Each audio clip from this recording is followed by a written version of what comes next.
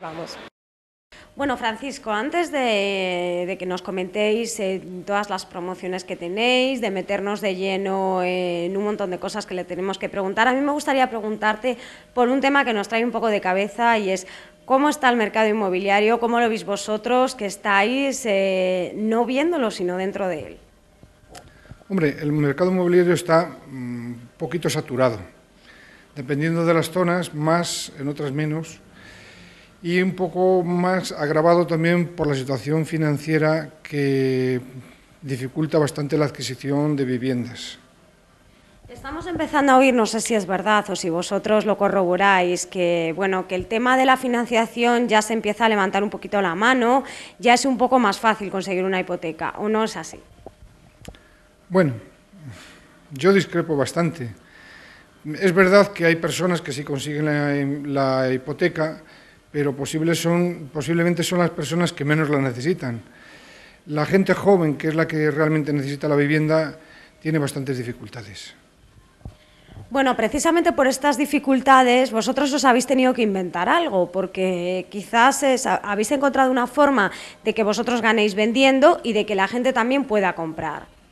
Sí, efectivamente. Nosotros pensamos ya hace algún tiempo que sería bueno mm, generar una situación en la que estas personas que no pueden comprar las, viviendas pudieran hacerse con una de ellas. En concreto, hemos ideado la posibilidad de ofrecer parcelas que se van a generar en un tiempo mm, aproximadamente de tres años, de forma que la gente puede ir pagando pequeñas cantidades al mes y en este plazo, más o menos de tres años, pueda hacerse con una parcela de cara a construirse su vivienda en un futuro próximo. Bueno, me imagino que el miedo de la, de la gente que os pregunte por este tipo de parcelas es, bueno, ¿y cómo sé yo más o menos si en tres años yo voy a conseguir financiación? ¿O vosotros les hacéis un estudio, eh, no pormenorizado, pero bueno, más o menos estudio de su situación para ver si podría mejorar o no? Hombre, eh, la situación dependerá mucho de las personas en concreto pero muy posiblemente las personas que puedan meterse a comprar una parcela en las, circunstancias que nosotros le ofrecemos, yo diría que casi todos van a tener también eh, capacidad para conseguir una hipoteca de cara a la construcción de la vivienda y que puedan devolver las cuotas mensualmente, porque estamos hablando de que si alguien puede entregar 400 euros al mes para la compra de una parcela, cuando construyan su vivienda, financiada, por ejemplo, a 30 años, pues les va a costar muy poquito más al mes. Bueno, ¿por qué elegimos Béjar para este primer experimento? Bueno, nosotros llevamos mucho tiempo ya construyendo en Béjar, hemos hecho determinadas promociones. Eh, Béjar nos gusta mucho, creemos que es una ciudad magnífica, tiene unas posibilidades enormes, lleva un retraso importante en la construcción, los precios allí siguen siendo todavía razonablemente baratos y es mucho más fácil conseguir este experimento, como tú lo llamas, que en otras zonas donde los precios se han disparado bastante más, como puede ser Salamanca o otras ciudades más, grandes. Bueno, eh, ¿es verdad ese mito de que ahora los precios son más bajos, de que ha bajado la vivienda, o esto es completamente falso, sino que a lo mejor no suben tan rápidamente, pero bajar no bajan? Yo creo que son especulaciones, se ha hablado mucho de ello. Mm, ha habido viviendas que han bajado de precio, ha habido gente que ha tenido que vender su vivienda por unas necesidades imperiosas, pero mm, digamos que lo que es vivienda de primera mano mm, no puede bajar mucho, porque los costes no han bajado. Es más, están subiendo los costes de construcción, con lo cual va a ser difícil que la vivienda realmente baje. Se están conteniendo, pero no bajando. Bueno, eh, vemos que hay una, no sé si petición, pero bueno, que la gente está empezando a tirar más a vivir en los pueblos, cosa que antes no se hacía, no hacía quizás por lo que tú dices de que vivir en Salamanca por esa saturación y por ese mercado es muy complicado.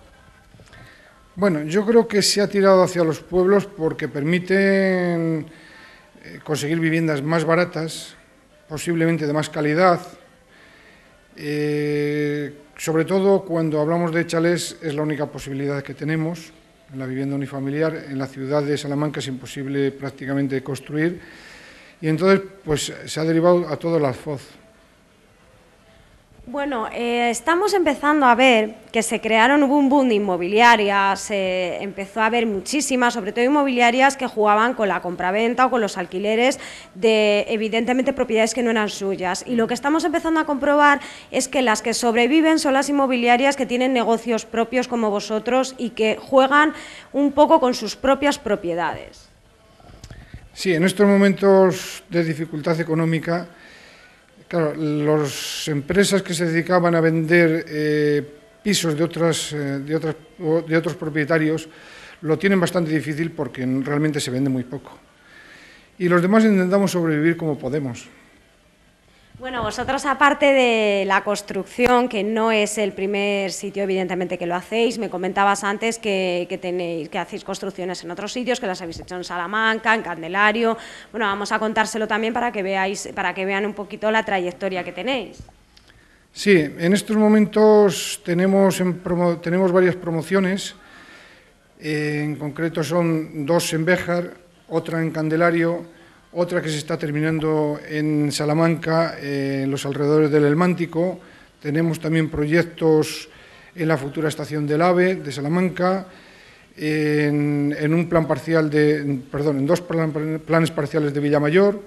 Bueno, esto es lo que tenemos un poco así a corto plazo.